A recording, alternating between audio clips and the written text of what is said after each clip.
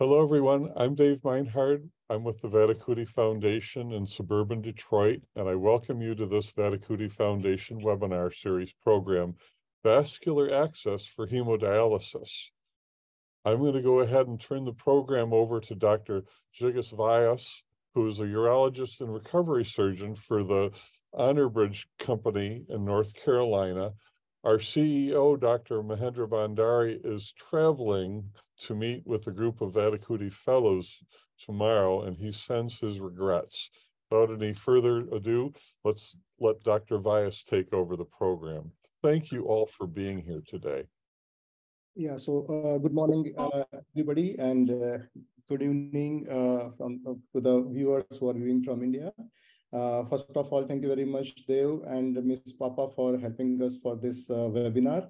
And uh, we must express as a team uh, our uh, great gratitude to Dr. Mahendra Bhandari sir and uh, Vattikuti Foundation for allowing us to, to allow our expressions on this very august and very prestigious webinar on this platform. So uh, uh, we are today going to discuss about the hemodialysis, uh, going to discuss about the vascular access about the hemodialysis, as we know that the incidence of CKD, which is a chronic kidney disease, is increasing. Uh, and in this slide, we can see that uh, there is a study about the American population, and uh, it is a study between 1996 to 2013. And we can see the incidence of CKD is gradually increasing steeply. Uh, this because of increased longevity of the population, as well as increased improved quality of life and there is also increase in comorbidities like diabetes and hypertension. So, uh, so now, now the average people who are coming for dialysis, uh, the average age is uh, nearly 64 in some of the de developing countries. It has been estimated that uh, within two decades, the current prevalence of uh, CKD, which is uh, 6 to 18% at present, is going to be double. It is also estimated that by the end of 2030, uh, we have more than 9 million people globally who has uh, uh, who has this CKD. Thus, CKD has a great burden and a great economical burden on, on, on having global issues also. We also know that the best treatment for CKD is a kidney transplant but uh, the demand and supply, the gap between demand and supply is so high that less than 20% patients only uh, are uh, fortunate to have a kidney transplant. Remaining 80% of the patient should be on dialysis. We also know that uh, the dialysis are of two form. It can be peritoneal dialysis or hemodialysis. The peritoneal dialysis has an advantage of uh, mobility, like patient can have peritoneal dialysis from uh, home or workplace, uh, uh, Uh, uh, but the issues with peritoneal dialysis is infection. It is not as uh, robust as other forms of uh, fistulas. So only less than 20% of the patient globally will opt for dialysis. The remaining 80% of the patient will go for hemodialysis, uh, which can be done acutely with the help of central venous catheterization or chronically with the help of AV fistula or AV graft. So today we are going to discuss about uh, central venous catheterization and AV fistula. Uh, this uh, central venous catheterization for, for acute dialysis. Uh, the AV fistula for chronic dialysis has been uh, explained in 1966 by Březina, and many of the principles which they have discussed are still relevant.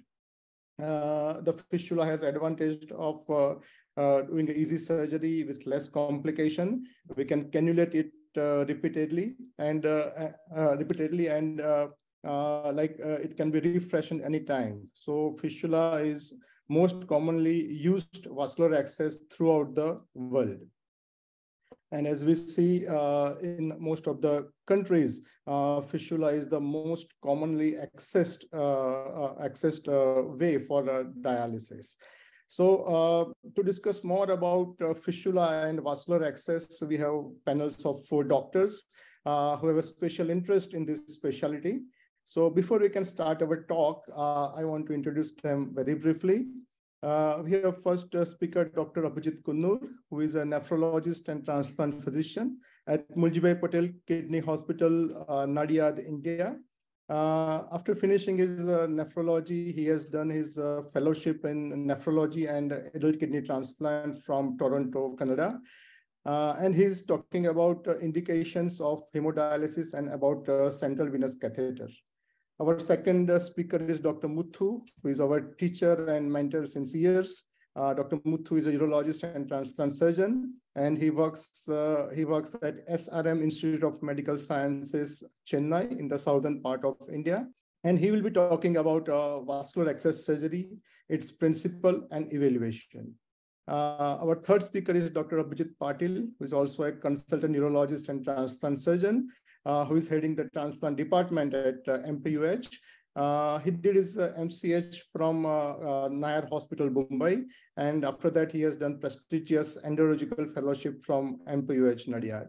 He's talking about types of fistulas, uh, which type of fistula to be chosen and how he performs them. I'll ask our, and I'll be talking about the complications of fistula as a fourth speaker uh, and how we manage those complications. So I will uh, invite uh, Dr. Abhijit Konnur to give his first talk uh, on, uh, on uh, central venous catheterization. Thank you, Dr. Jigish. at the outset, let me thank the Vattikuti Foundation and Dr. Jigish Vyas for having me and involving me in this very interesting topic. Today, I'm going to talk about uh, hemodialysis and hemodialysis catheters. Uh, the flow of the talk is going to be about uh, indications of hemodialysis and something about hemodialysis catheters, indications, complications, and management. So hemodialysis indications the most common and prominent indications is to continue maintenance hemodialysis in patients who are already on dialysis. The other is urgent or emergent indications where they can be metabolic in nature, like electrolytes and acid-base imbalances, uh, increased extracellular fluid volume, also known as hypervolemia or congestive heart failure. Signs of uremia, especially pericarditis, and encephalopathy, or otherwise unexplained decline in mental status, poisonings, toxins, and some malignancies where hemodialysis is used to remove abnormal products or byproducts of therapy. And finally, but rarely, you could have uh, uh, hemodialysis to modulate body functioning, like patients who have suffered from hypothermia to warm their blood up or osmotic challenges, especially after exposure to high uh, ionic contrasts, one would uh, require patients to be dialyzed.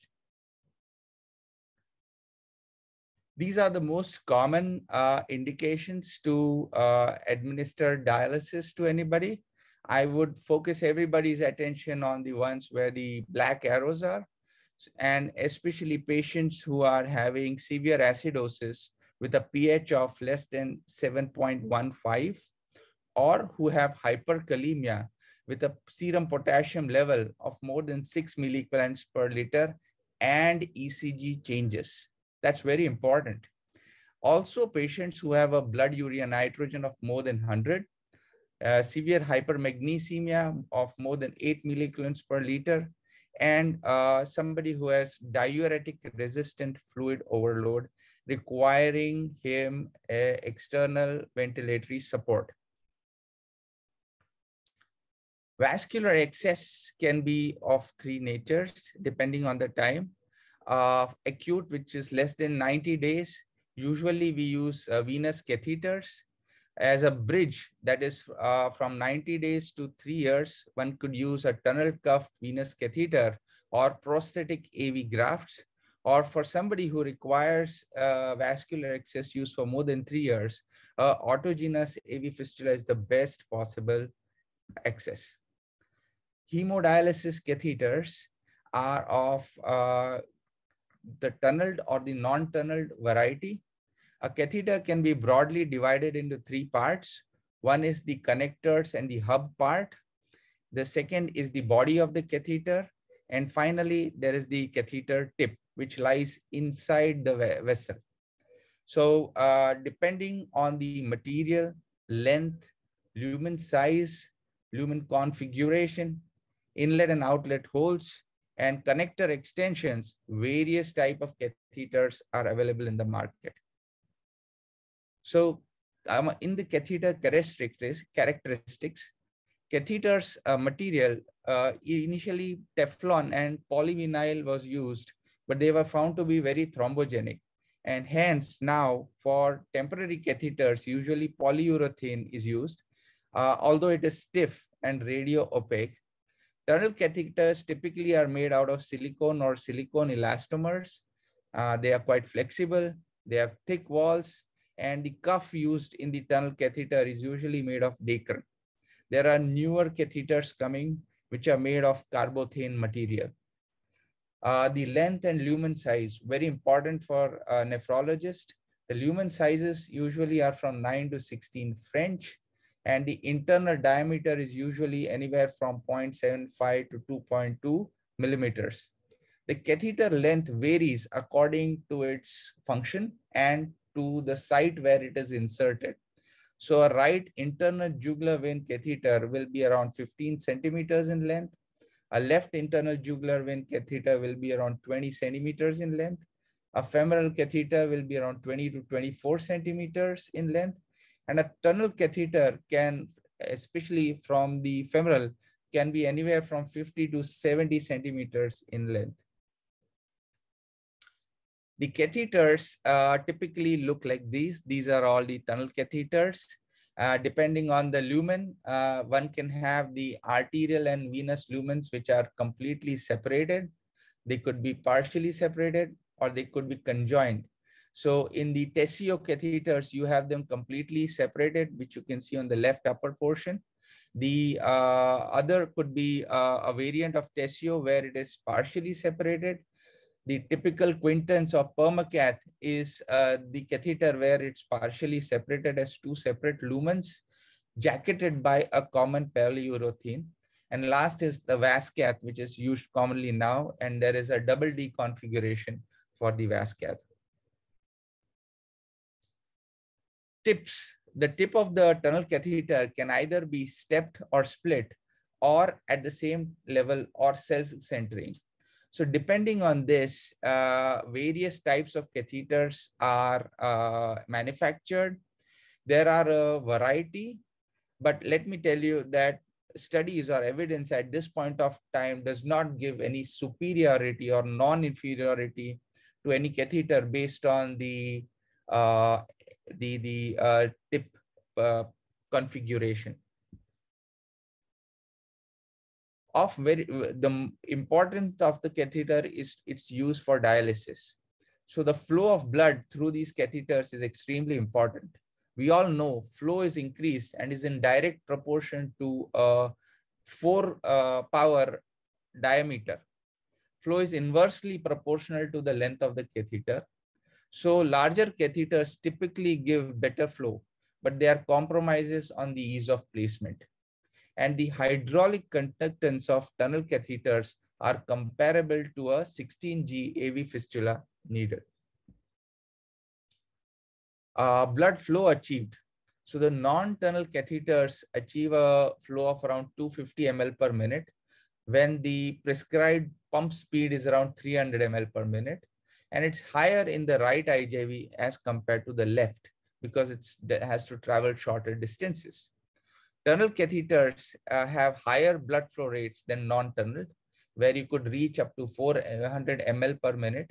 And uh, the important thing is the tip of the tunnel catheter has to be in the right atrium, and it's usually wider in lumen. The off note, actual blood flow rates in catheters are always lower than the prescribed pump flow rates purely because of tubing uh, deformation due to elevated negative pressures in the catheters. Compared to AV fistulas, uh, they require an increase in treatment time of approximately 20% to achieve similar clearance. Hence, AV fistulas are very efficient in dialysis delivery in shorter duration of time. Preferred site of placement, the right internal jugular vein is the preferred site. One can also use the left internal jugular vein, although when one gets left uh, blood flows and there are chances of catheter malfunction. Uh, we usually avoid subclavians uh, because this can lead to high incidences of central vein stenosis. The tip position typically for non-tunnel catheters is in the superior vena cava. And for the tunnel catheter, it is in the right atrium. For the femoral catheter, the tip is usually placed in the internal jugular vein. The shelf life or the use life for this catheter uh, varies by depending on the site of insertion, catheter type, and catheter material. But typically, the right internal jugulars are used anywhere from two to three weeks. The femoral catheter can be a single use, or it can uh, range anywhere from uh, zero to seven days for patients who are bedbound. And tunnel catheters can be used from six months and longer, depending on the site and the center specific characteristics. Now coming to the important topic of complications uh, related to catheters. So complications can be divided into immediate and late, and they may typically be because of catheters or related to the patient. Amongst the catheter related complication, it can be due to mechanical causes or functional causes. Uh, mechanical causes typically because of uh, kinks, structural damage to the catheters, any position errors at the placement of the tip or uh, the curvature uh, that the catheter needs to attain, luminal thrombosis or presence of stenosis. And functional complications where everybody, you know, tries to scratch their head saying, hmm, this looks good, but it's still not working and usually takes a long time to fix. Uh, the complication can be uh, patient related. Uh, worse things happening, arrhythmias and cardiac arrest, especially when one uses guide wires or when the catheter touches the uh, hard surface. It can cause uh, pneumothorax and pneumothorax where introducer needles actually uh, are not supposed to go where they do. Bleeding, hematomas, arterial punctures, air embolism, uh, presence of hemomediastinum, and injury to the phrenic or recurrent laryngeal nerve. Uh, rarely, and the worst case scenario, cardiac perforations have been seen in some patients. Best way to do it is to do it under ultrasound guidance, as one can see in this cartoon, where the carotid is placed quite close to the right and left internal jugular, and the vein kind of dances around the carotids so makes sense in locating the vein appropriately using a uh, sonology guidance. Long-term complications, non-infectious, vessel stenosis is not uncommon in non-tunnel catheters. And this occurs because of vessel wall injury and stenosis uh, because of prolonged tunnel cuffed catheter use, especially if the catheter tip is in the superior vena cava or at the junction of the two veins. Uh, subclavian catheters are at exceedingly high risk and nephrologists usually frown when they see anything in the subclavians, then be it uh, hemodialysis catheters or PICC lines or even sometimes ports. Catheter dysfunction is classified as early or late. Early catheter dysfunction may be related to uh, insertion technique, where there is presence of sharp curves, the tip being in the superior vena cava, or the tip is stuck to the opposite venous wall leading to flow issues. And late causes may be dysfunction and is usually related to catheter thrombosis. Uh, the catheter, catheter thrombosis can be of two types. It can be extrinsic or intrinsic, meaning whether the problem is inside the catheter or it lies outside. Inside the catheter, typically one can have venous thrombosis, mural thrombosis, or arterial thrombosis, meaning the thrombus is present in the catheter. The catheter gets encased in a thrombus in the vein, or it has a big, large arterial thrombus hanging at one end of the catheter. Uh, uh, the intrinsic uh, causes are intraluminal catheter tip and presence of fibrin sheath, which I will come to very shortly. So extrinsic thrombus is presence of uh, the catheter in vein makes vein predisposed to thrombogenesis. And the incidence is anywhere from 2 to 63% in different studies. Back pressure changes can occur in the territory of the vein. And uh, this can be uh, require systematic, uh, systemical anticoagulation. Mural thrombosis are typically attached to the wall of the vessel and similar thrombus in the atrium can be large and sometimes life-threatening when it gets dislodged from the catheter and uh, can cause uh, pulmonary embolism.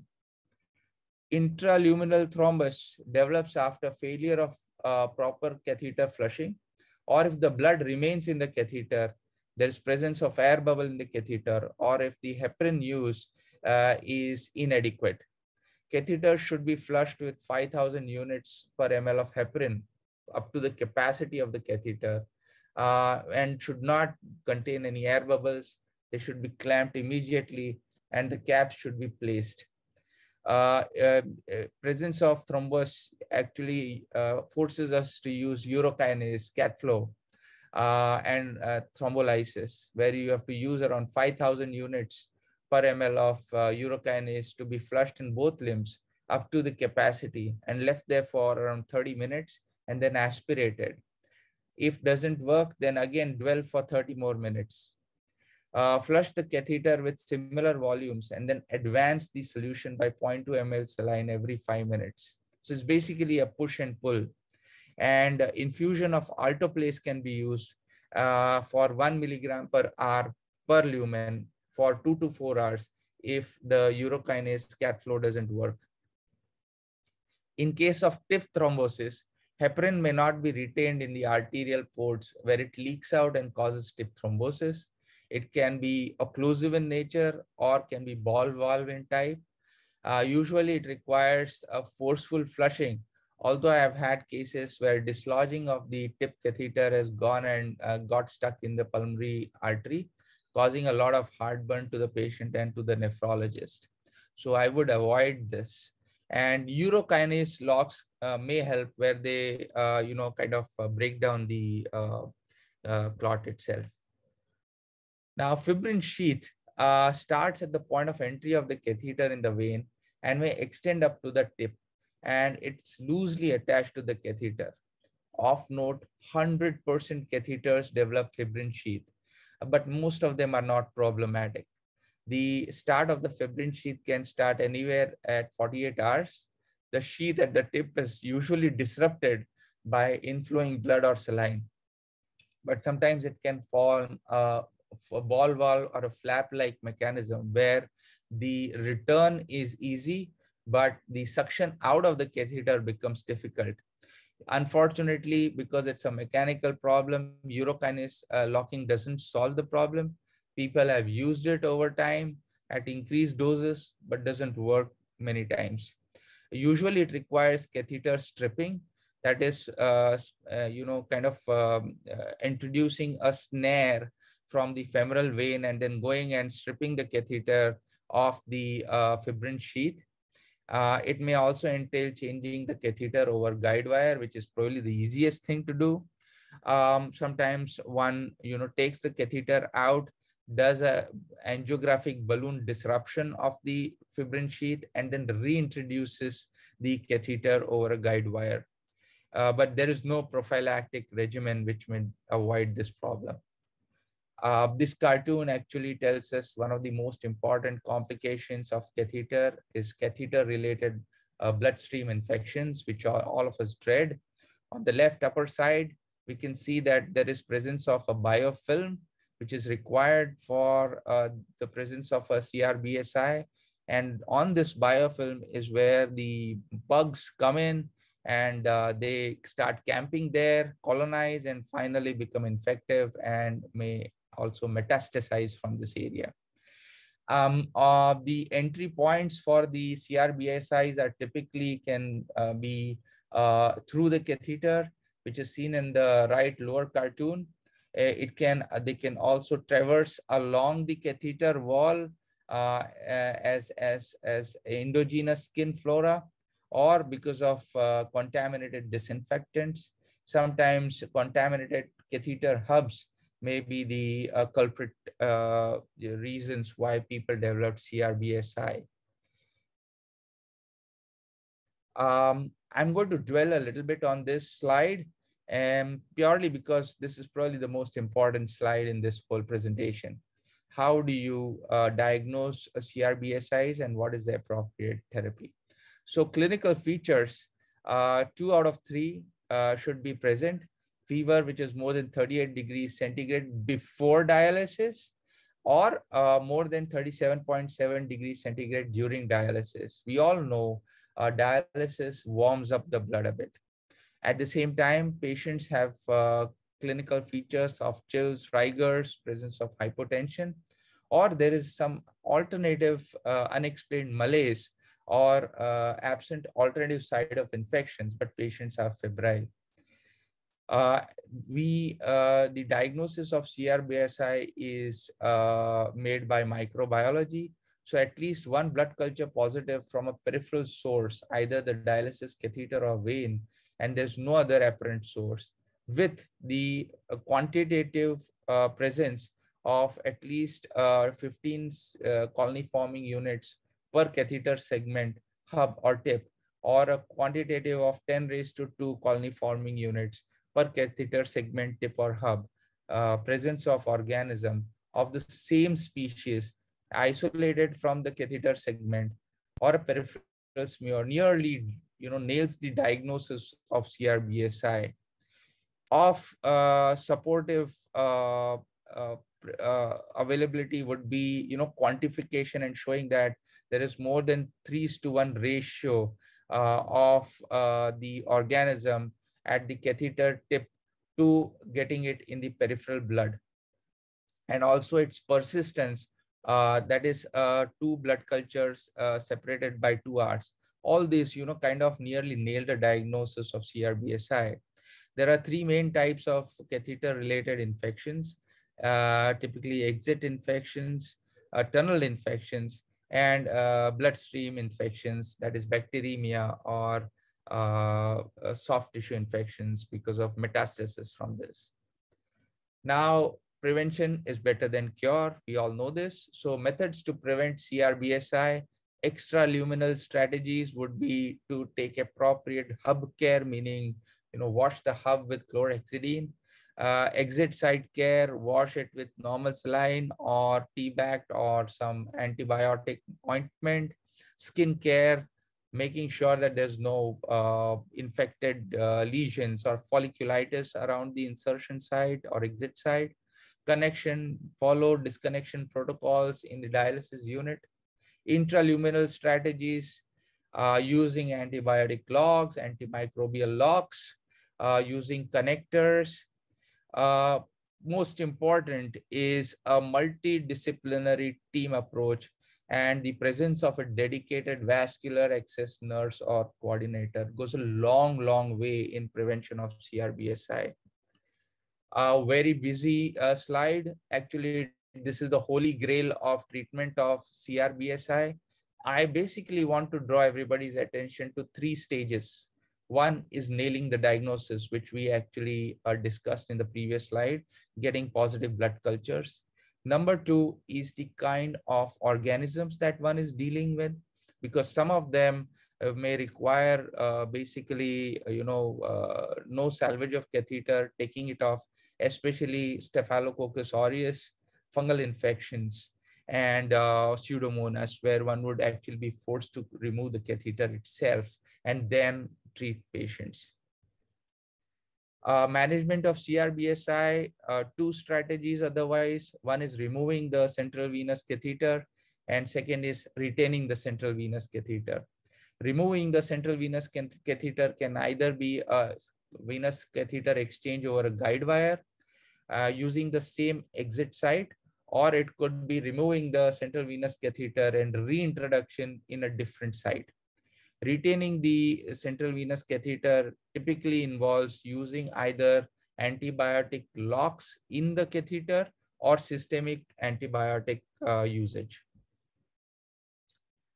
Of note, removing the central venous catheters A non-tunneled central venous catheter should always be removed in case of CRBSI. Uh, tunnel catheters uh, may be removed in the following situation. This is commonly the question that is in everybody's mind. So I want to dwell on this.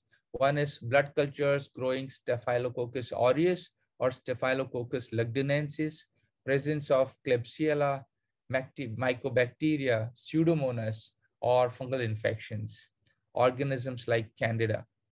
Uh, if there is any presence of complications like septic thrombosis, septic shock, endocarditis, or osteomyelitis, I cannot overemphasize that if one gets a patient who is hypotensive and you are suspecting CRBSI, salvaging the catheter does not work.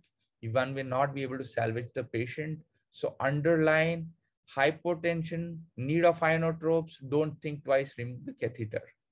Uh, the, if there is presence of coexisting tunnel infection or abscesses, uh, positive persistent blood cultures uh, 72 hours after therapy telling you that either the it's a multi-drug resistant organism or one uh, the one is simply overwhelmed with the infection of the catheter.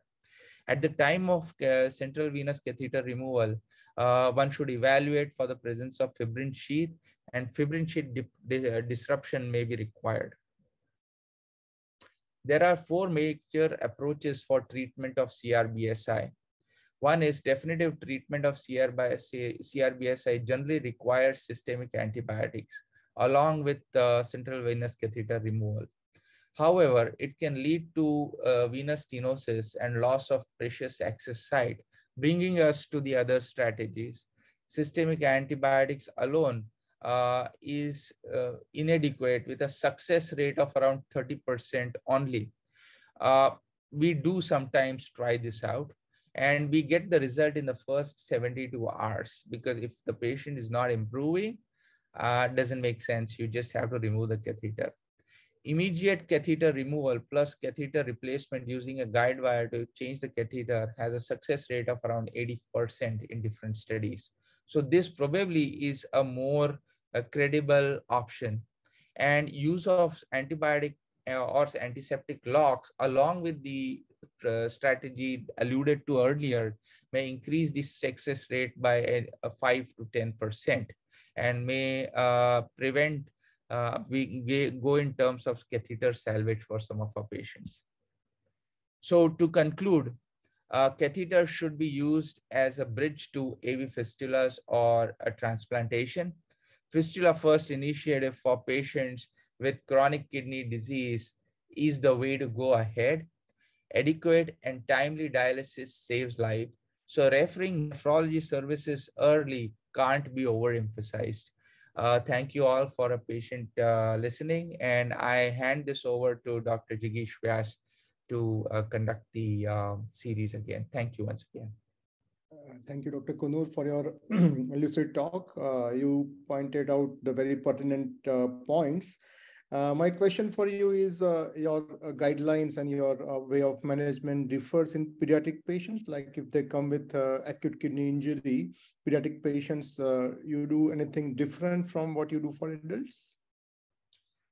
That's a good question. So broadly, the access can be a difficult uh, situation for pediatric uh, services. Uh, most important is whether the material is available and the manpower is available to deal with them. Many of our rural hospitals or the semi-urban uh, hospitals may not be able to match up to this. Uh, we are a quaternary care center. So usually what we do is we treat them just the way we do with adults uh, but only thing is the material required is different the size of the catheters, we have them ready. So that goes a long way.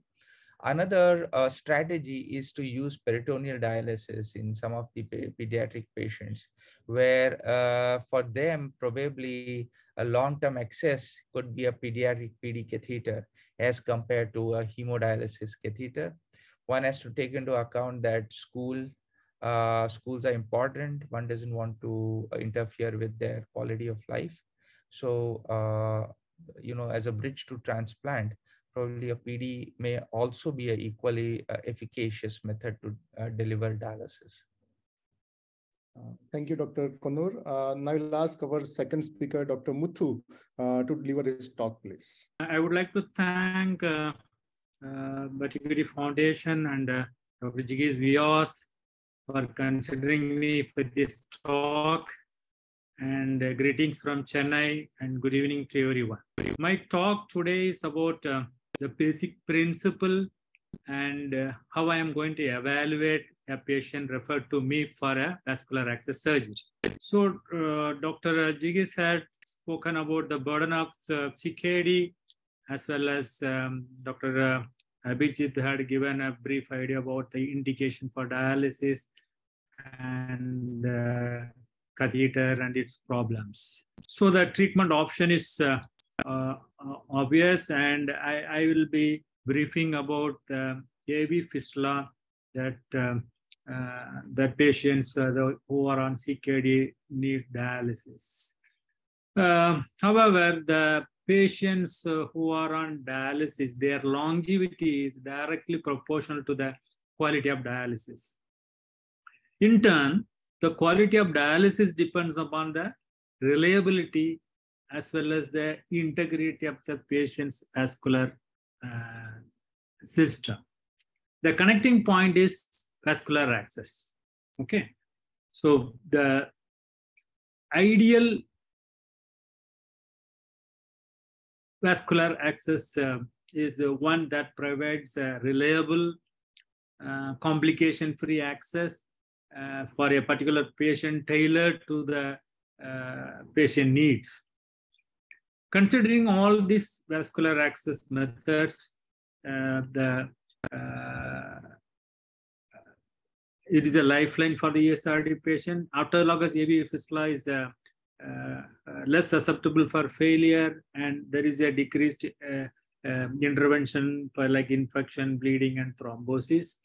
And a successful fistula should have a good continuous thrill, and you should be able to use uh, uh, earliest, and it should have a good outflow. As per the uh, KD OQI guideline, when the fistula is matured, it should be able to use within six weeks from the uh, maturation, and you should be uh, it should be six millimeter below the surface, and you should have a, a six millimeter diameter where, where, the technician can able to cannulate it, and uh, and and and and it would be able to produce a 600 ml of uh, uh, blood in the machine that can use it. Um, the basic requirement uh, for a preoperative, like the basic principle is the, the vascular access surgeon should go to the dialysis uh, ward and uh, have a, a, discussion with the nephrologist and the technician how there is going to and the basic requirements are you need microsurgical instruments. Always the magnification is better and you should be handling the tissues meticulously and you should have a meditated mind. Though it is a uh, surgery is a symbol, but it is a highly skilled surgery. And the treating surgeon should know what happened after fistula creation. That is what very, very important. There is a rapid increase in blood flow across the vein. Our aim is to arterialize the vein, where we can uh, puncture it and, uh, and that is immediately after dilate, uh, uh, release of the clamp, uh, I'm not going into the technical issue where Dr. Abhijit is going to talk about that. And uh, there is acute dilatation of both artery and vein. And there is a, a wall shear stress on the veins that will uh, produce or because of the blood flow. And the vessel luminal diameter is increased. Ultimately, there is an arterialization of the vein. This chart shows about how the normal vein get, uh, it looks like that after the anastomosis, whereas in a, uh, in a CKD patient, there is there is always there is a intimal damage or this thing, there is a turbulence in the blood flow will end up in a and the, the, the wall shear stress on the vein that will produce intimal hyperplasia, you end up in failures. Uh, th this is what, what the normal vein, how like that, whereas the patients with the CKD, and the wall will get intimal hyperplasia that is more prone for uh, failure.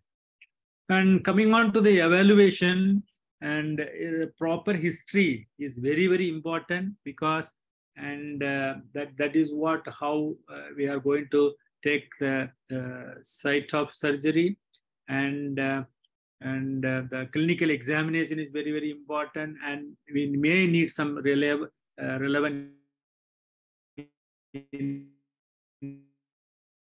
investigation before taking up for vascular access.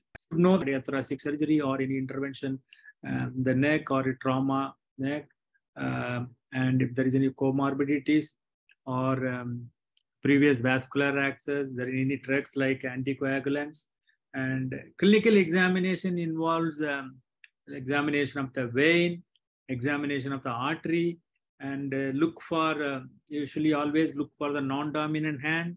It should be, the patient should be examined in a very good light, ambience, good uh, lying posture, and the arm size has to be uh, compared with the opposite side. Uh, look for is there any collateral veins, and the veins, uh, the veins should be examined with a tourniquet, and we should be able to feel the tap. The, if you tap the distal end, we should be able to feel the tap, the thrill, and the, that is shows the how the vein is there. The next part is the examination of arterial system, and you should uh, uh, feel the pulse of the artery, the peripheral pulses, and another way to do the, the what we taught in the anatomy, the Allen's test, where to know the uh, um, uh, palmar arch, where the when we are going to use the radial artery, uh, there the uh, the suppose there is a uh, distal flow is compromised, something like a steal syndrome, and uh, the blood pressure of the both upper limb should be measured.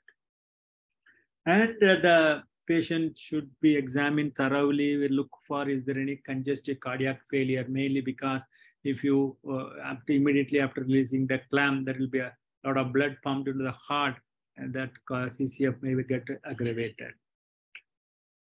Imaging uh, is um, very uh, like the mapping, vascular mapping, um, usually done with um, duplex uh, uh Doppler ultrasonography is the method of choice. Sometimes it, um, you know, there is very some patients where the veins are not able to see, where uh, we may go for a digital subtraction venography or venography, and when it will be limited use the indications for um, uh, uh, the Doppler ultrasound is like uh, obese patients where elderly female with the comorbidities and peripheral vascular disease or coronary artery disease where clinically we are not able to uh, examine properly and uh, other like if they are suspecting a central venous stenosis and and and like something like there are limitations for the physical examination. We are not able to uh, uh, map the vein, and then then there, there is an indication for uh, Doppler study. And uh, I would like to expect uh, uh, from the radiologist, he should mention about, uh, he should draw about the veins like cephalic vein, basilic vein, and its diameter. Is there any thrombus? And uh, this, this, is what we, we get it from our radiologists when we do a Doppler there. And um, so the radiologist should mention about um, the diameter of the uh, vein and artery, and the basic minimum requirement is less than 2 millimeter and more than 2 millimeter for the artery, 2.5 millimeter for the vein. And there are uh, evidences uh, supports that if the vein diameter is less and there are more chances of uh, primary failure. And for if you are going for a graft, AV graft, then, then the vein diameter should be more than 4 millimeter and that will give a good outcome um, what the guideline says, it is like there are randomized um, trials available uh, um, in the literature suggest that, uh, but but um, routine vascular mapping there are uh, it is like like it's a conditional recommendation with a low quality of evidence, like expert opinion. So it is not recorded uh, needed for almost all the patients. It is indicated for special situations. The main problem with the Doppler uh, uh, ultrasound images is it's operator oriented. And uh, one of the main uh, important factor of the distensibility of the vein that cannot be uh, detected by the Doppler study. sometimes it will have an inconvenience for the patient, higher cost involvement, and that also delays the system so once the conduit is selected, once examined and um, you have selected a vein and put a marker over that particular hand, uh, not to inject or uh, you know, protect the vein from the puncture or trauma. So some of the location, I'm not going in detail into the technical aspect because Dr. Abhijit is going to cover it in. And uh, uh, normally you should know the anatomy of the uh, venous anatomy of the hand. And usually we'll have to start uh, from the distal aspect, like start from the anatomical snuff box, then the wrist, then goes to the elbow. And usually use the uh, superficial veins and keep the deep veins for the uh, if there is multiple failures. And the commonest fistula is the uh, Briseos fistula, it's in the wrist and sometimes you can either you can do a end to side which is more common and done rather than side to side. The side to side associated with more venous hypertension. And the brachial you can do it with uh, uh, brachiocephalic like um, the brachial artery or the median cubital venous anastomus to the uh, this thing. Sometimes you can put a loop graft or I will show a small video about um, uh, non-touch technique. When you do a AV fistula, uh, can clearly watch that I am not going to touch. That is what very, very important when you do a fistula um, without touching the artery and the vein. And you should be able to retract and do a, uh, then only the outcome will be uh, better. And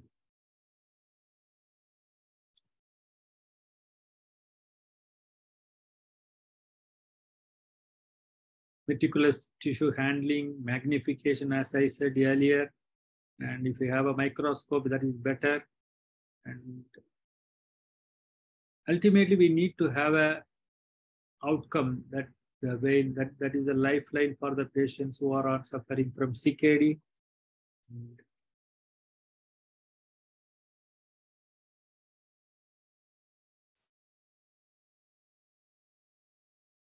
So don't touch the intima and try to hold.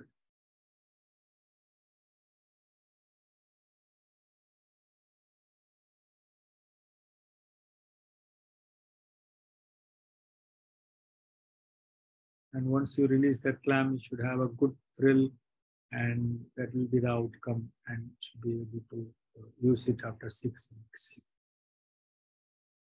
and we should be in, informing the patient about how to take care of the fistula and, and inform them about the they said like a teamwork like like a early referral from the nephrologist.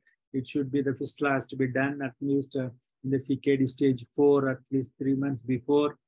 And uh, involve the patient educate about the patient. That should be a, as uh, Dr. Abhijit Konnur said about the vascular access coordinator and the involvement of it's like a teamwork nephrologist uh, patient technician and the patient himself has to know what we are going to do that and ultimately the message is though it looks simple it's a highly skilled surgery that is a lifeline for the uh, CKD patients and uh, needs a, a renal replacement. Thank you so much for your patient hearing. And once again, I thank Dr. Jigish for giving me this opportunity. Thank you so much, sir, for your uh, nice talk. Uh, I have a question for you. Like uh, you mentioned that uh, venous distension, like vein should be more than 2.5 mm. But, some, but sometimes this is a uh, like a falsely dilated vein. Sometimes there is a stenosis. So when during the surgery, uh, if you find that there is a venous stenosis, though the saline is going very nicely, but you could not pass a five French infant feeding tube, what do you do at that time? What is your plan of uh, action at that time? Actually, what I used to do, I used to dissect the vein, check its patency before dissecting the artery. So once I found that there is a stenosis, if it is not uh, uh, able to cannulate, right? like like what I used to do, I, when I do, I, I do a gentle flushing with the heparinized saline, and if I could able to feel the thrill, then that means that um, the vein is patent. And I don't put some uh, like a feeding tube to it may traumatize the uh, this thing. If it is a stenosis, I don't go ahead with the uh, fistula. I will stop it. I will go further higher up. Thank you, sir, for your uh, nice talk. Uh, now I'll introduce our third speaker, Dr. Patil, who will speak about uh, how and uh, when to choose which type of fistula. Dr. Patil, please. I would like to thank Vattikuti Foundation for this opportunity, and I would also like to thank Dr. Jigish Rasa for this uh, wonderful opportunity. So uh, the talk today is types of fistula, which to choose, and how to perform. So this would be more of a technical talk of how to choose uh, basically, this has been taught by the previous talk. Let us first understand what is an ideal fistula. It should be easy to construct and maintain. It should give adequate blood flow for dialysis. It should be easy to cannulate. It should allow rotation of cannulation sites because once you create a fistula, it is lifeline for the CKD patient and you want that fistula to work for long. And now what happens is the patient is on intense hemodialysis thrice a week. Uh, uh, you need to change or rotate your cannulation sites in your vein so that you don't land up in aneurysm or weakening at that area. So uh, your fistula should have adequate space for rotation of cannulation sites.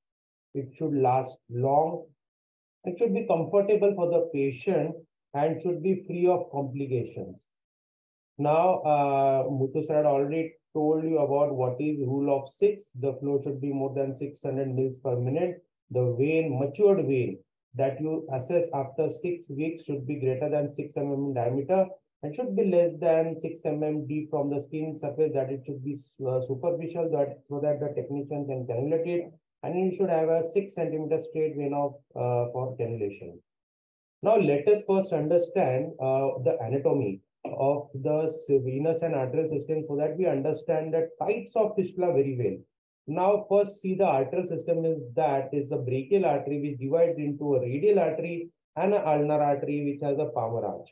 Okay. Now, the venous system is divided into a deep venous system and a superficial venous system. The deep venous system is radial vein, ulnar vein, which accompany the artery, and finally they form a brachial vein.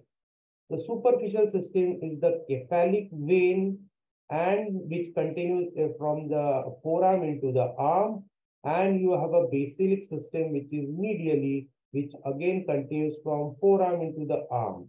Now what happens is that this basilic system, the basilic vein, joins the deep system and forms an axillary vein and which contains a subclavian vein while the cephalic vein finally drains into axillary or a superficial or a subclavian vein.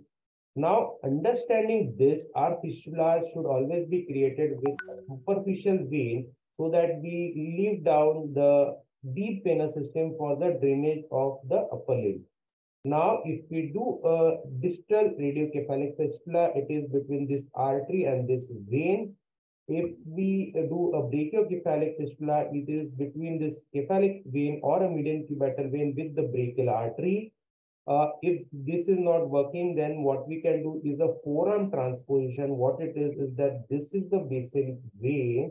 We would transpose it from this to a lateral area and then anastomose it with the radial artery. If you want to do a transposition in the arm, it would be we superficialize this brachial, uh, the basilic vein, we transpose, uh, transpose it uh, laterally and then anastomose it with the brachial artery. So we can have an RC fistula, we can have a BC fistula, we can have a forearm transposition, or we can have a arm uh, transposition or a basilic vein transposition. So this is what I was telling that this is a distal radiocephalic fistula. This is a, a wrist fistula, uh, this is an elbow fistula, which is an BC fistula, or this is a basilic vein which has transposed and anastomosed with the brachial artery. So these are the three most commonly performed upper limb fistulas.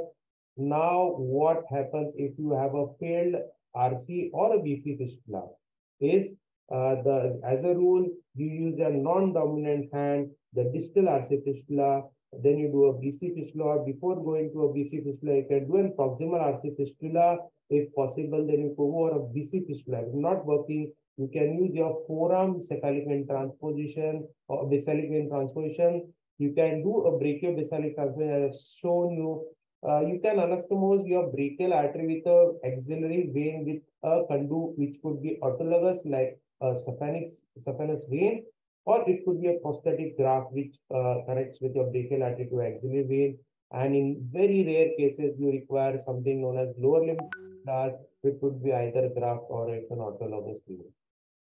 Now, these are the rare, the, the grafts that you do if you are not AV fistulas, autologous AV fistulas are not working. Now, which to choose is it can be divided into the side and the location.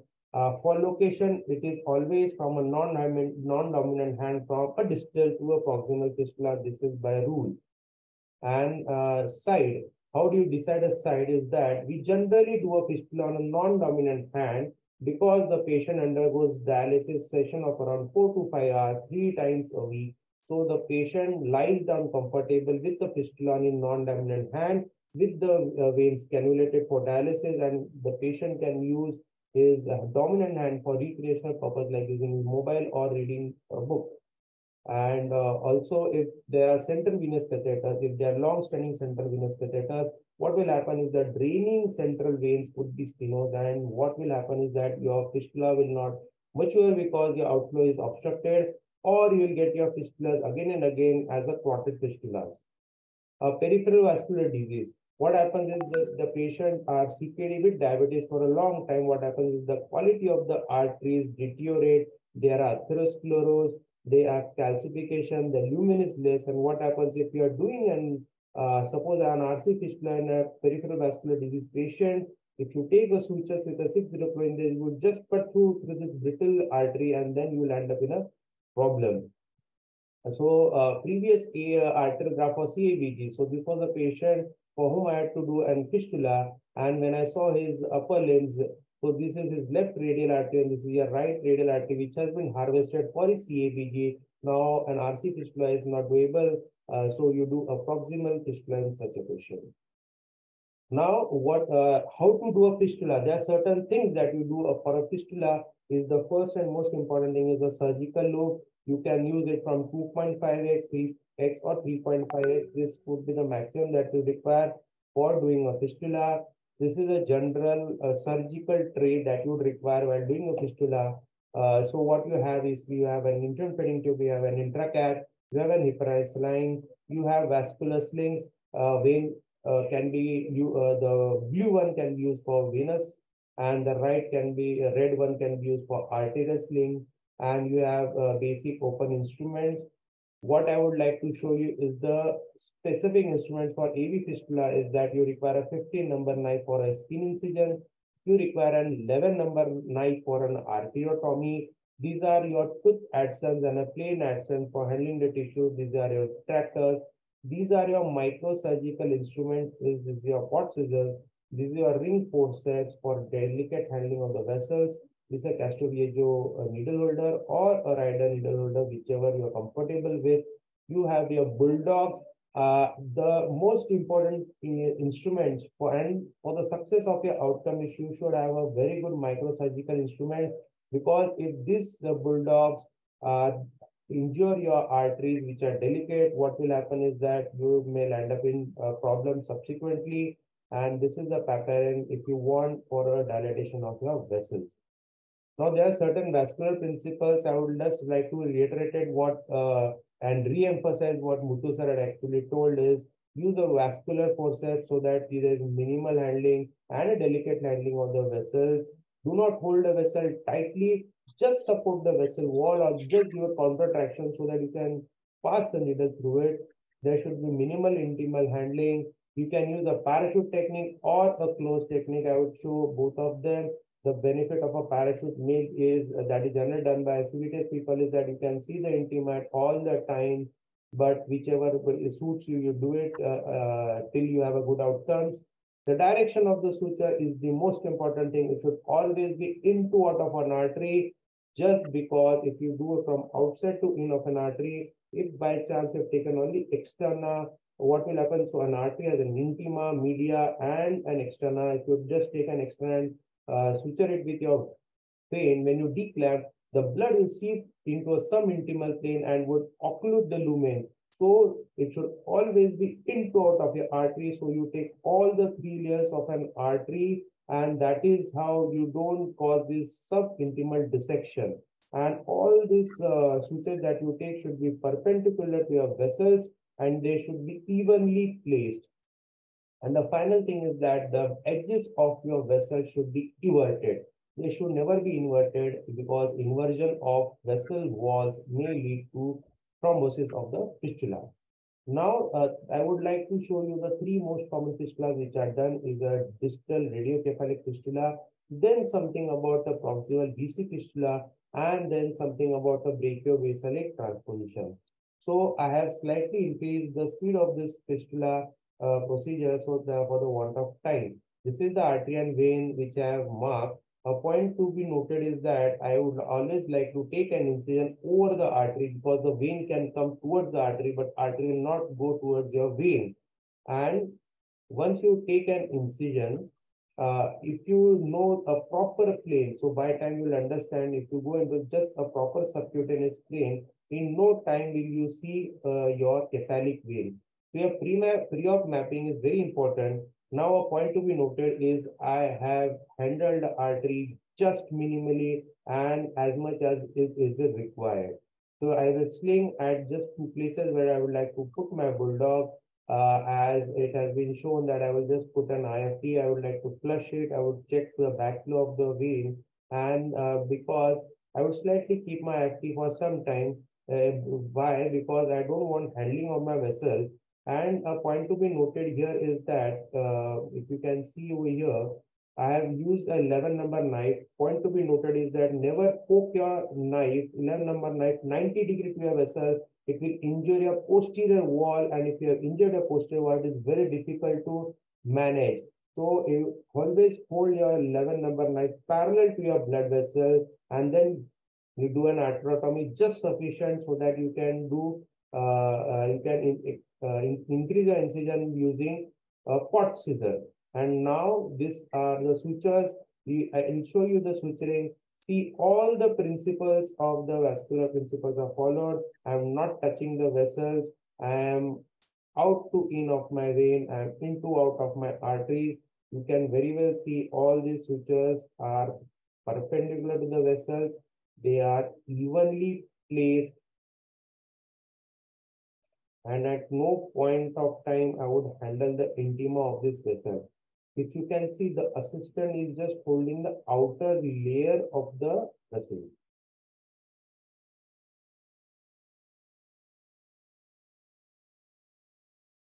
The other important thing for a radiocephalic fistula are the angles.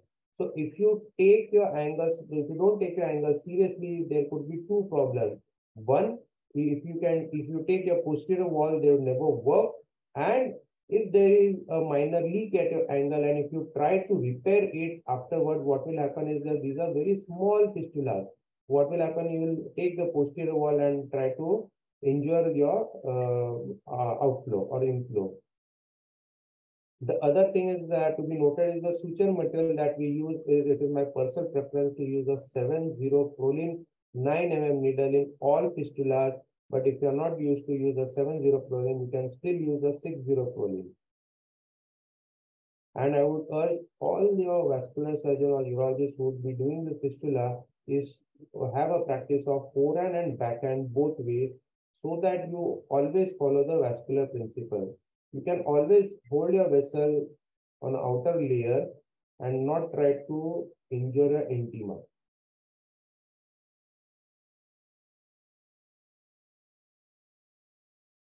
And So other point to be noted is that though I am near the angle, I would never try to cinch or tighten my suture so that I see my intimas all the time.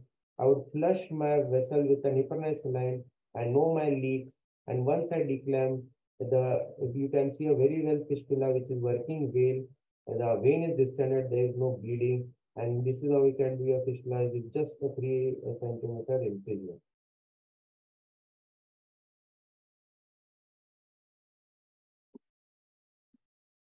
Now this is the brachiocephalic fistula. Here the artery, brachial artery is marked. This is the uh, cephalic vein which is marked. This is a slightly uh, bigger incision. A point to be noted is that fistulas can be done under two type of anesthesia. The first being a local anesthesia and second being the block. The benefit of blocks, which are brachial blocks, is that if the vessels are marginal, they would dilate the vessels after the block and then at least a 30% increase in the size of the vessels, which would actually make a surgery simpler and may help you to improve the outcome. But if your vessels are of good caliber, then you can do your fistula under local anesthesia. It can be just a daycare procedure. So I'm infiltrating it along the suture line, incision line. Now I would take an incision. Hmm. I would deepen it.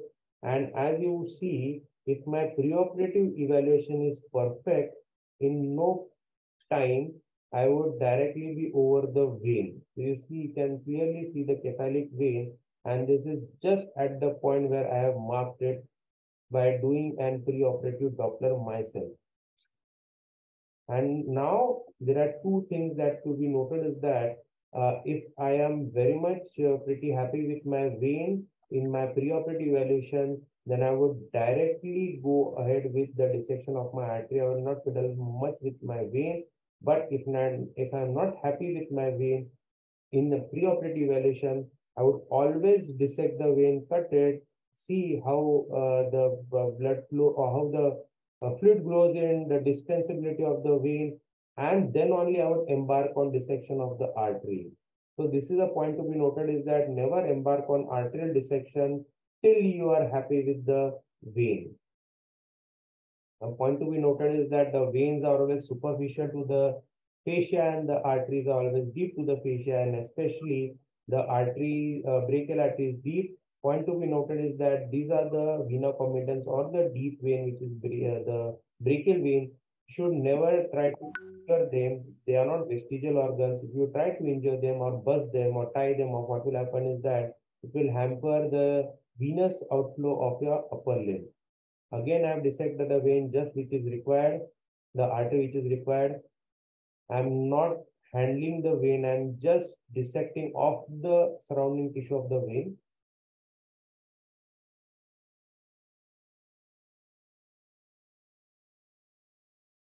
Now, finally, when I'm ready with my uh, setup, I would slim the vein. The other thing is that in brachiocephalic fistula, the veins are generally laterally and the arteries are medially. So you need to dissect the vein properly so that there is no tension over the anastomosis, there is no kink over the vein. That is why you should slightly dissect your vein more than your RC fistula. You should have an adequate length of your vein. You may sacrifice some segment of your vein if need be, but it is very difficult that you cut your vein short and then you are in difficult. Then, then what you have to do is your you have to do your anastomosis slightly proximal on your artery. At this point of time, I would cannulate it with an infant feeding tube just to see uh, is it going on easily and whether uh, it is distending well. So if there is like spasm in your vein, you can just dilate it vein this way. The other benefit of keeping IFT for some time is that it allows me not to handle the vessel. But I also agree that uh, it may injure the intima as uh, told by Muthu sir. So once the job of the IFT is done, I will just remove it. Now I would apply the bulldogs on both proximal and distal end of my artery which is required. Again, the same principle. Here I would like to keep the slings because the brachial artery is deep. I would generally not keep these vascular slings when I'm doing an RC fistula, just because the uh, radial artery is very delicate and it may go into spasm. And this is how you can do a BC fistula. Again, all the principle of the uh, surgical principle are being followed the vein is out to in, artery is in to out, there is no handling of vessels, and the uh, sutures are pretty 90 degree or perpendicular to the edges. The edges are everted, and uh, uh, you can now finally what I'll do is again I'll inject with heparinized saline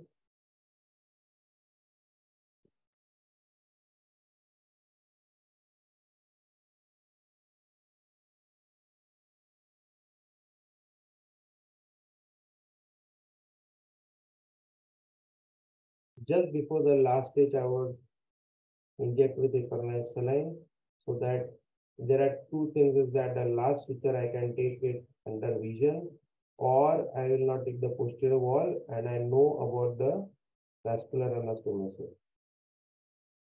So this last stage, it helps me to take the last stage which is slightly in blind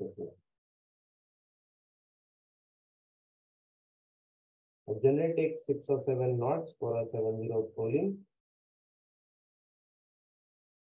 Should always remove a distal uh, bulldog and then a proximal bulldog, or you can remove both the bulldogs at the same time if you are pretty confident of your anastomosis.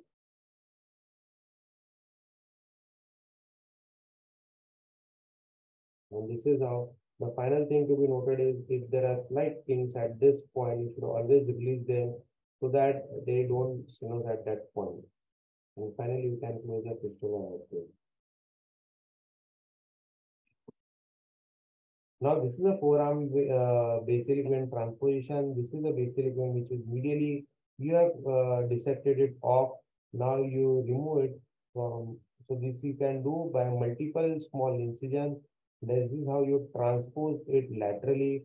The point to be noted is that once this vein has come out, you should always look for small leaks because if there are small branches which would leak, once it has uh, gone through the tunnel and if it leaks, then it is very difficult to control such bleeding.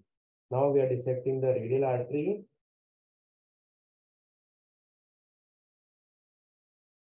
Now the way of uh, tunneling, there are various ways of tunneling is that this is a Romovac drain introducer. So what we do is that with at this point, we uh, we tied the vein at to this introducer and then that introducer just comes this way and it brings the vein here. And now you can see we have spatulated the vein and we are anastomosing with radial artery. Uh, if you are, or if there's a last resort is to use a graft, there are various configurations that you can use. An upper limb graft is with your radial arteries and your cephalic veins it could be a loop graft or it could be a, graft which is with your, um, obviously your brachial vein and your arteries, or it could be a loop uh, uh, graft between your axillary vein and your axillary artery. The last video that I will be showing is a brachio uh, basilic vein transposition is that uh, this could be done in two stages. Uh, in the first stage, you may anastomose your basilic vein with a brachial artery and then it matures and then you do a second stage of transposition at the second stage or you can do it as a primary single stage. This is the basilic vein that I marked. So a point to be noted is that this is the basilic vein. Now there are two ways I can take a long incision this way or I can take a small three incision that I have marked. So and then I can dissect off this vein. So I would show you dissecting of this basilic vein by multiple incisions. You take your incision. Now this is the second stage of basilic vein transposition. This is the point of your anastomosis with your brachial artery. I would disconnect the basilic vein over here.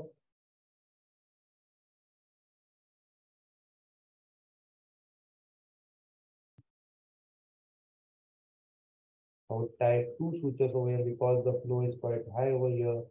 Now disconnect the arterialized vein. As you can see now the quality of uh, vein is very good.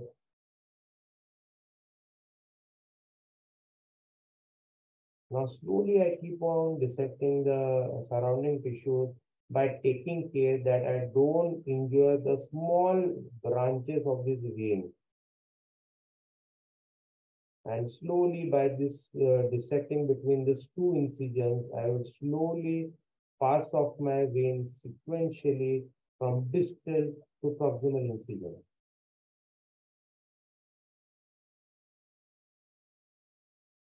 I would rather not dissect of this vein just near to its vessel wall. I would keep some tissue around the vein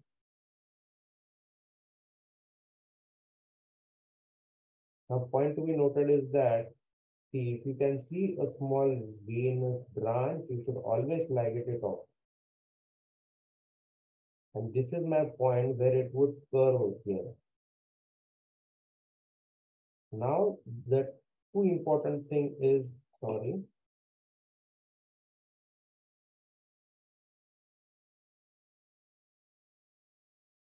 So the two important thing are, so I come to know uh, whether there are leaks in my vein before I embark on tunneling. And second is that I should not twist my vein in the tunnel. So the way that I do is I insert my infant feeding tube, I pinch the proximal end and I would hydrodistance and see whether there are any leaks. Now I, at this point of time when I know my vein is very well dissected, there are no leaks, I would now dissect the brachial artery.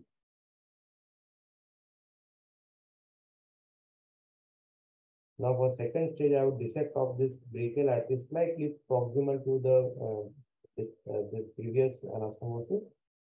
Now this is an important point is that I would use a methylene blue or a marker and mark my vein on the lateral or medial side, whichever works for you. And this is just for your orientation so that the vein does not get kinked in your track. So this is very important. Now this is another way of creating a tunnel is a long artery forceps or an aortic clamp that you create just a subcutaneous tunnel. It should be just subcutaneous as you can see so that the vein is accessible. And just hold this vein and bring it over here. And now just cut the extra vein that I have, I dissect off the surrounding tissue now. I spatulate my vein. And what I would be showing in this case would be a parachute technique. Now, generally I do exercise, uh, this is to create a punch effect. Uh, this is generally done in a bigger artery like a brachial artery. Now you see, I am not cinching. I initially have taken my sutures and I have cinched. Once I have taken the angle, you can still do uh, the rest part of it, but I generally like to do a hemicircle with uh, uh, that technique and then finish off the other technique. Now, as you can see, the anastomy is pattern, there is no bleeding and this is the superficial vein which is very much dilated and almost ready for cannulation. And see, this is the final picture with small multiple incision. We can very well create a brachial uh, vein transposition. Well, thank you for the patient listening. And I hope I have covered the, all the basic fistulas and how to do it and tips and tricks so that you can start your fistula or those who are doing a fistula, you can improve the outcomes of your fistula. Thank you, Dr. Abhijit. It was a nice demonstration uh, and the videos were really good. Uh, now uh, we'll go to the fourth presentation, maturation failure and other complications of fistula. Uh, we know that uh, fistula is the uh, very prevalent uh, mode of vascular access, but it has its own limitation. if we check the patency rate, the success rate, which is from the access creation to the first intervention, which is called as a primary patency rate, uh, this is a 55% for the distal fistulas, RC fistulas, whereas for proximal fistula, fissulas, it is nearly 52 to 55 percentage. And if we see the secondary patency, overall patency, which starts from access creation to the abandonment of the fistula, it is 71% for the uh, distal fistula, and it is uh, 74 and 55% for the proximal fistulas. So at the end of three years, the proximal fistulas uh, will be functioning in 70% of the cases. Whereas uh, for the distal fistula, there is a high chance of uh, fistula failure or maturation failure, and almost one quarter of the fistula will not be used at the end of one year. If we see the complications uh, of all the three modalities, the highest complications are with AV graft and lowest with the AV fistula. And among the AV fistula, the most common complication is thrombosis and stenosis. And uh, with uh, CVC, the most common complication is infection. Uh, now, what is maturation of fistula? The maturation period is defined as creation of fistula and the first cannulation. So here we have created the fistula and at some point of time, we are going to cannulate the vein for the first dialysis and it is called as the maturation time, which varies from one to three months. Which are the factors, as our previous speakers have mentioned, there are various factors which are responsible for the good maturation. They are non-modifiable and modifiable factors. In non-modifiable factors, uh, most important is the vessel-specific uh, factor in which the diameter uh, of the vessels is very important, say 2.5 centimeters for the vein and 2 millimeter, uh, 2.5 millimeter for the vein and 2 millimeter for the artery uh, is sufficient. Good length, distensibility and blood flow is also very important. In uh, patient-specific factors, uh, female gender, advanced age, comorbidities like diabetes and heart failure, and very brittle uh, blood pressure controls are the detrimental factors for the maturation. Uh, the hypercoagulable state should be ruled out uh, by the history of recurrent abortions or failed fistulas or failed transplant, because if these factors are not been corrected, the subsequent, subsequent fistula is going to be very challenging. In modifiable factors, the obesity is an important uh, risk factors because the vein will be buried uh, in the fat of pad. So even if the fistula is matured, we'll not able to puncture it uh, or cannulate it even with the help of ultrasonography. So obesity is one of the important modifiable risk factors. Uh, uh, surgeon's experience is again very important and the surgeon sitting in this podium will agree that we need to do certain amounts of fistulas to overcome the uh, learning curve and to uh, to have a stable results in our uh, in our fistulas previous cannulations are very important and hospitals should have policy that the normal veins of the CKD patient should not be injured while taking uh, blood samples or IV cannulations, and they should be preserved for future fistula formation. Uh, smoking uh, history is again very important. Early cannulation is again an important point uh, because if we cannulate the fistula prematurely, then again, there's a chance that we may create stenosis in these patients. So uh, if we see uh, the trend of cannulation in all those countries, the Japan, where we have uh, where where there is a fistula first approach, they usually cannulate the fistula in less than one month. Uh, otherwise, all the all the countries, all the major countries, they do cannulation within one to two months. Again, uh, in US, uh, there is a trend to do cannulation after three months. It is very important to understand the dynamics of fistula and how the uh, fistula matures.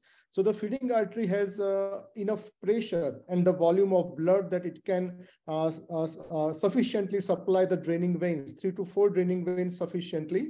Uh, after fistula formation, the low pressure vein is exposed to very high pressure violent atmosphere of the artery.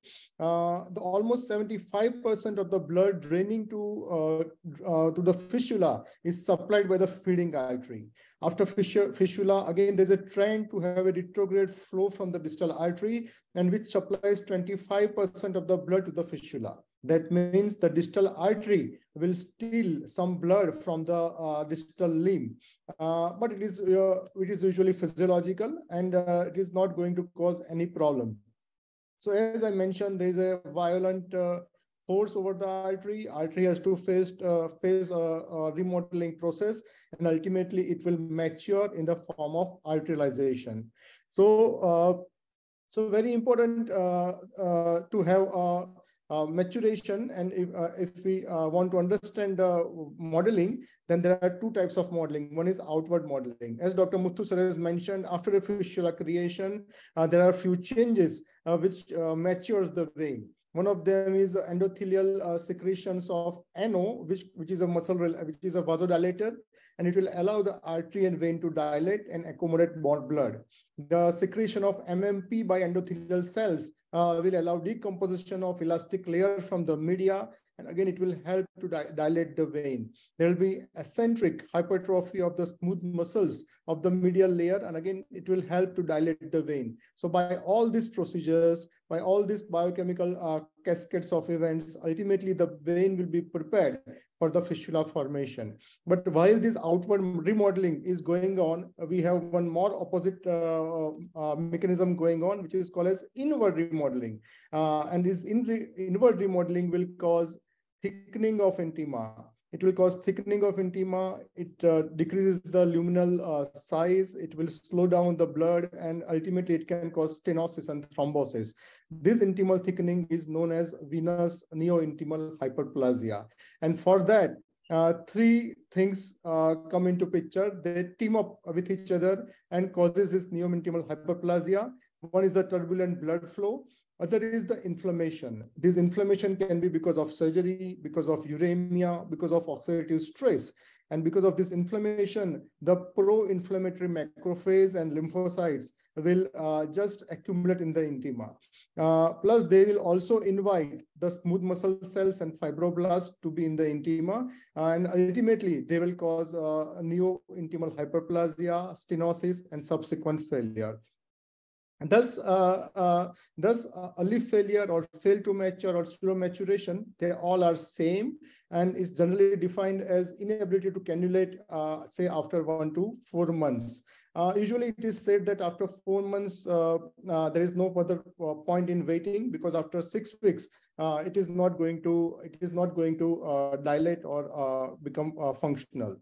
So uh, the, though the exact definition is under uh, under debate, almost 50% of the fistula could not be used uh, after three months. And most uh, common cause for that uh, uh, is a poor arterial lumen. So thus, if the outward remodeling is prevalent, then the fistula will mature successfully. But if the inward remodeling is prevalent, then this fistula will surely stenosed and got thrombosed. So as I have mentioned, uh, stenosis is the main culprit, main Achilles heel of the fistula, and the juxta-anastomotic uh, stenosis is uh, around 70% because this is the area where the vein gets, gets the maximum brunt. Other common area of stenosis is more proximal when the veins are there, when the valve, vein, venous valves are there, or when the vein has been uh, cannulated at the time of uh, fistula. The less common sites are arteriovenous anastomosis and the venous and the uh, arterial artery de novo uh, stenosis. All those uh, reasons are for stenosis. Uh, so whenever we do surgery, uh, we uh, and if we suspect that there is a venous stenosis, we always pass an infant feeding tube.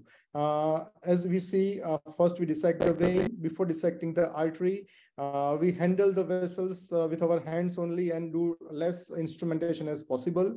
We pass a five or six uh, French infant feeding tube to almost 25 to 30 centimeters to confirm that there is no venous stenosis.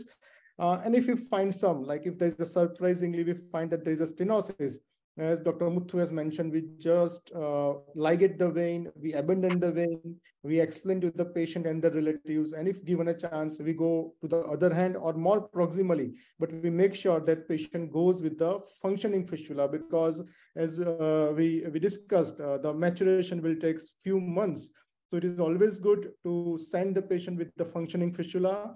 Any surprises should be corrected, and if needed, uh, we can change our location also. Uh, other complication is thrombosis, which is the most frequent uh, complication, and it is a consequence of stenosis only. Now, this thrombosis we can get immediately, like if we are forming a fistula, and we find that now there is no thrill and there is a thrombus at the anastomotic site. What should we do? We should immediately uh, uh, re-explode the fistula. We should remove the thrombus, and we have to refreshen. because most of the time it is a technical error. So if required, we should refresh once or twice and to our surprise, uh, we can get functioning fistula after our uh, due efforts. Uh, early thrombosis is common when it happens after, say, one uh, day uh, after the fistula formation and before the maturation, before we cannulate the fistula. And it is mainly because of a medical cause, uh, which can be either fluid depletion during dialysis or the cardiac failure. So all those medical conditions should be corrected or should be under check to prevent a fistula failure because fistula is a lifeline for the patient. Late, late uh, thrombosis. If a patient comes with a thrombosis lately, it is mostly because of stenosis and they are very difficult to treat. Uh, so typically this patient came to us after a few months uh, of fistula. Uh, usually we ask patient to check their thrill uh, routinely to see the functionality of the fistula. So he came to us with history of absent thrill since the morning. Uh, this is a very precious fistula because we can see it is a basilic vein transposition. There is a medial incision over the medial aspect. And we can also see there are uh, puncture marks over the fistula and probably is the reason for uh, stenosis. So uh, though we know that uh, oral outcome is not good, but because it is a precious fistula, we have to explore the fistula and the same thing we did. Uh, here again, good thing to notice is we handle the vessels with the with the loops and not with the clamps whenever possible. Other thing is uh, we can see there is a complete arterialization of the uh, vein. Uh, the vein has become almost same as the artery. The lumen is almost same as the artery.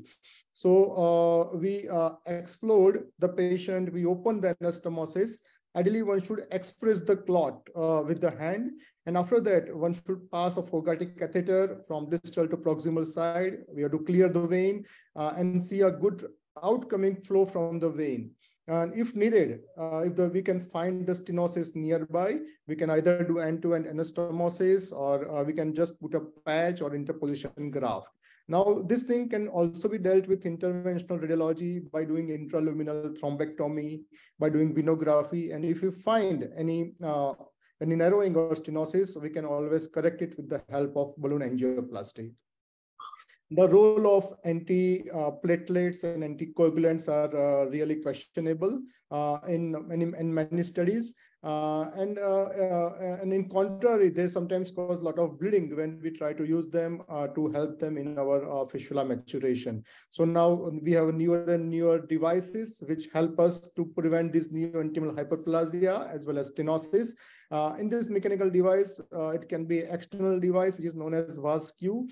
Is siliconized uh, braid is there, uh, which will uh, overlap the artery and vein. And it is supposed to cause uh, less wall shear stress and reduce the stenosis. We can also have the also the internal device is also been explained in which the device is inserted in the vein and it is supposed to decrease the neo-intimal hyperplasia.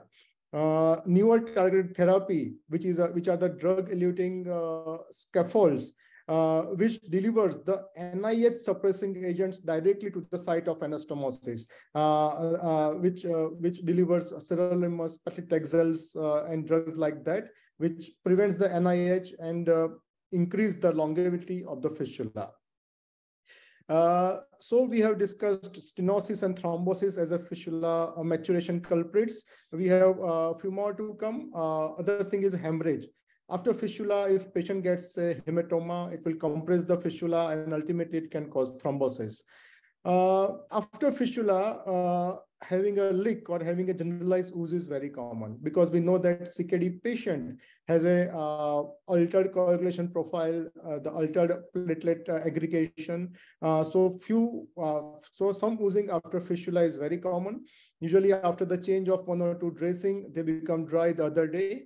Uh, but if the bleeding is, say, significant, it may be from the technical fault, it may be from the anastomotic leak. At that time, we have to just open up a big and take one or two sutures to just stop the bleeding.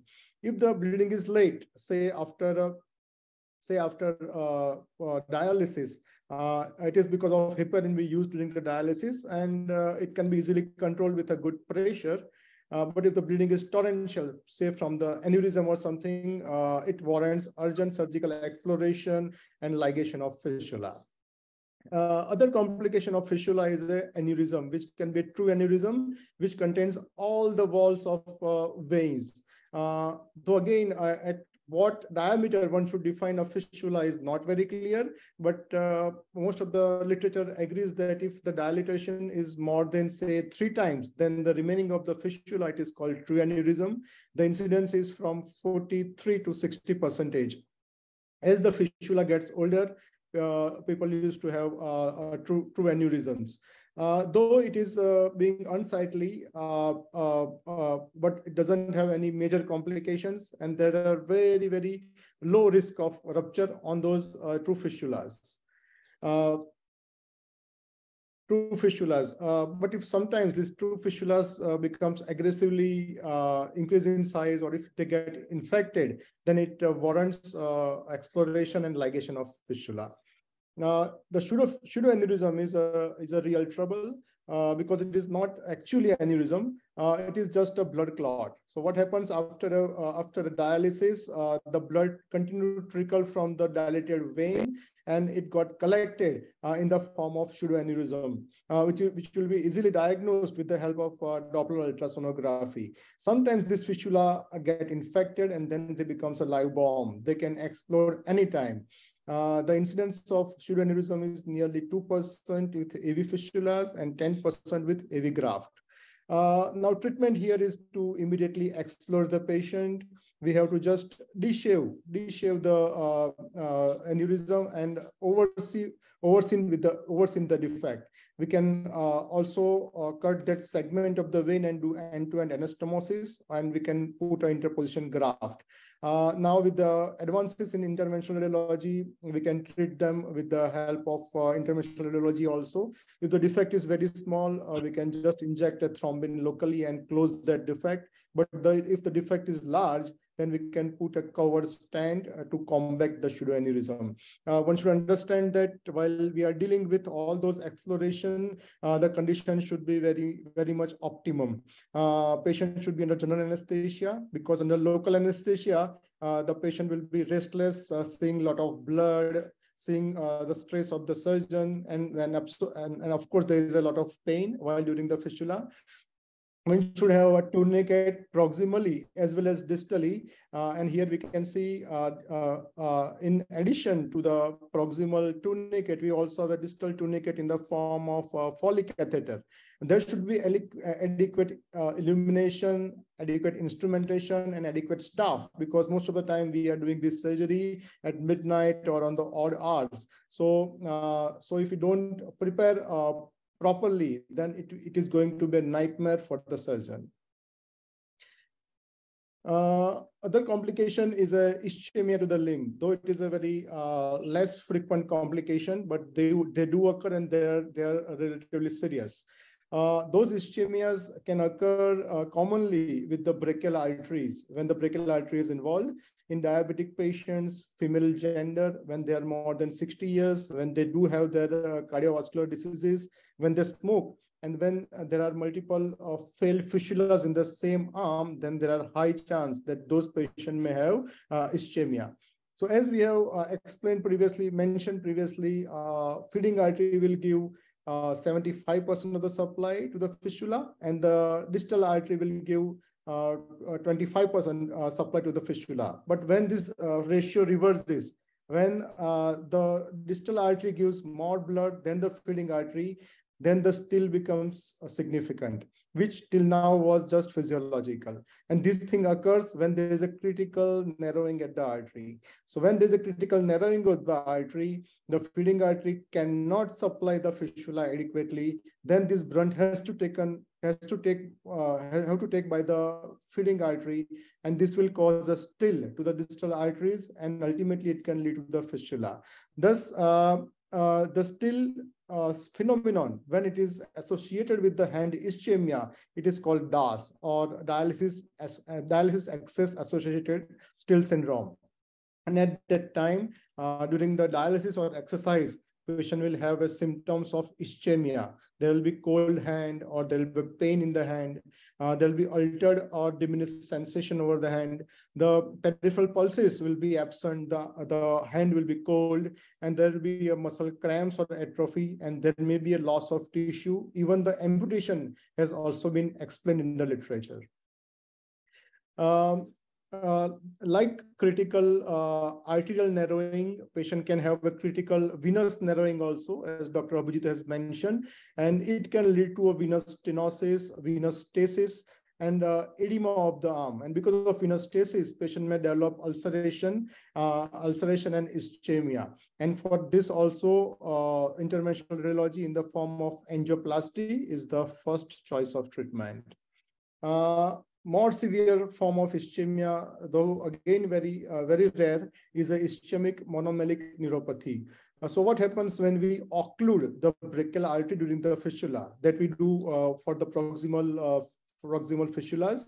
At that time, the nutrient vessels which supplies only nerves get injured. And even after the successful fistula, we open up the clamp of brachial artery, uh, this nutrient artery, because they don't have a good uh, watershed zone, they don't have a good collaterals, got affected, and uh, these nerves get permanently injured. Uh, the, all the three important nerves, either one, two, or all the three nerves can get injured. And if the all three nerves get injured, patient may have a claw hand like uh, deformity. Uh, unlike Steal syndrome, these symptoms occurs immediately. Usually we find those symptoms in the recovery room. The pain patient will have a severe hand pain uh, with numbness and, and, and there will be paralysis and uh, motor and sensory deficit we can find. But unlike uh, Steal syndrome, the hand will be warm. It, it won't be cold. And uh, Doppler confirms uh, the distal pulsations, distal flow also this is a very critical condition uh, because even if uh, we diagnose this condition early, we treat it, we re-explore and we ligate the fistula early, there are high chance that patient may have a residual paralysis, residual pain, as well as sensory and motor uh, motor residual issues will be always be there. So this condition uh, should be thought of, should be avoided and should be treated as soon as possible to avoid devastating complication. The main difference between DAS and uh, uh, neuropathy is uh, digital pulsation. The hand would be cold in case of DAS, whereas uh, the later case, it will be normal or uh, uh, absolutely normal.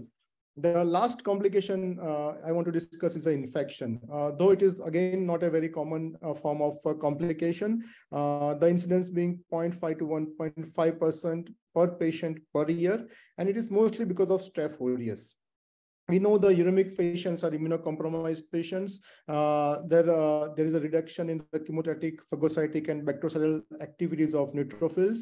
And uh, there is a defect in T and B, uh, B cell mediated immune response also. So they are prone to infection and sepsis.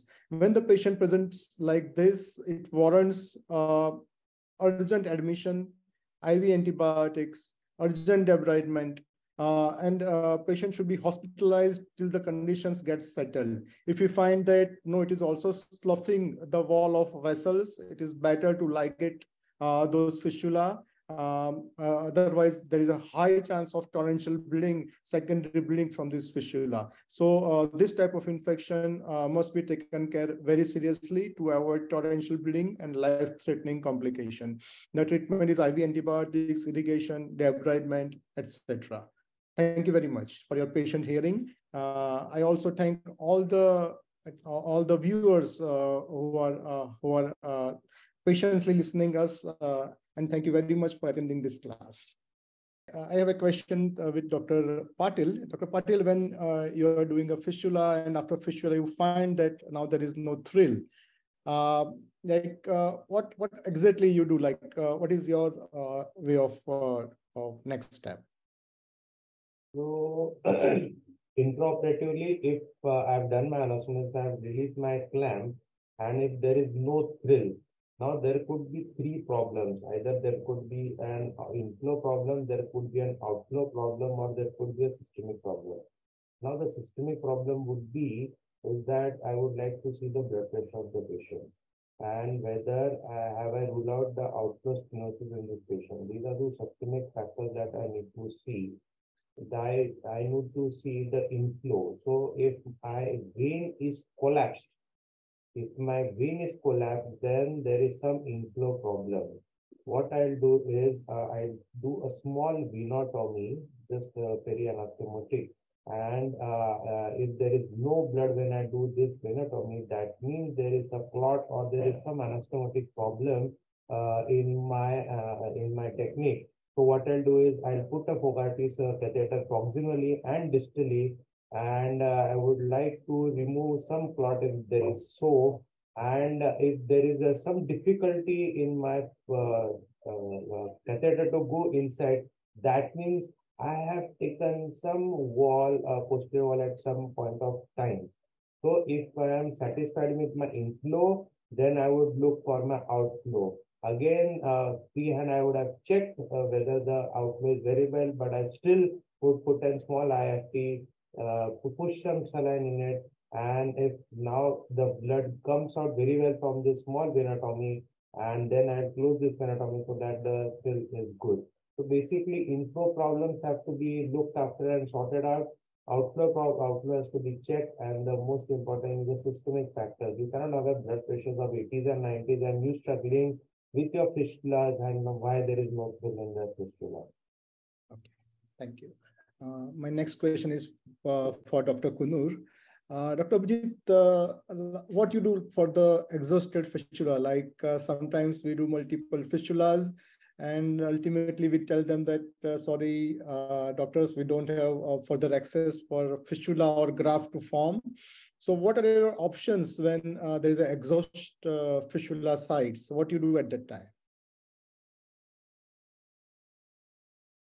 Dr. Abhijit, please.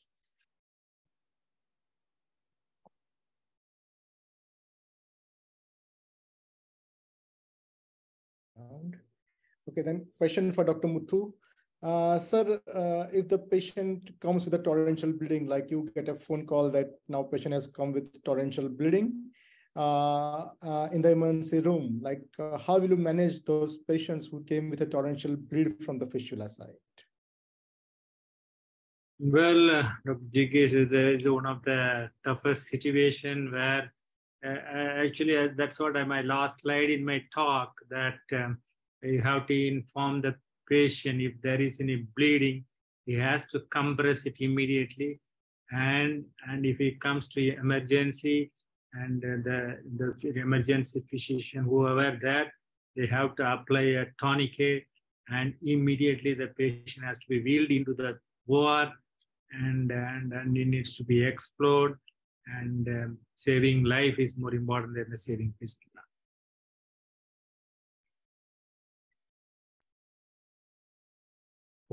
Can I add a point to this, sir? Yeah, sure.